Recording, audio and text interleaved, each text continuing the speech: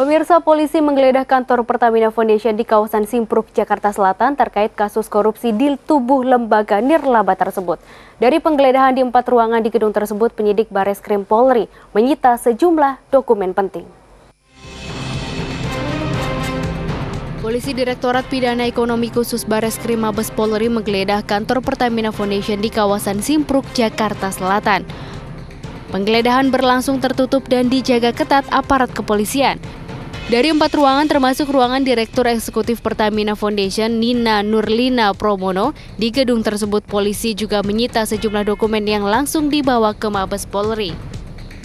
Dalam penggeledahan, polisi tengah mengantongi nama satu pejabat Pertamina Foundation yang terindikasi menjadi tersangka yakni Nina Nurlina Pramono. Belakangan diketahui Nina menjadi kandidat calon pimpinan KPK namun namanya dicoret menyusul upaya Bareskrim menyelidiki kasus korupsi di yayasan tersebut.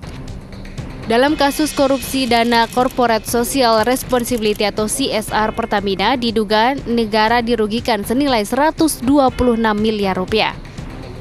Program CSR ini sejatinya mengelola dana program gerakan menanam pohon, sekolah Sobat Bumi, beasiswa Sobat Bumi, dan sekolah sepak bola Pertamina dengan anggaran sebesar 251 miliar rupiah.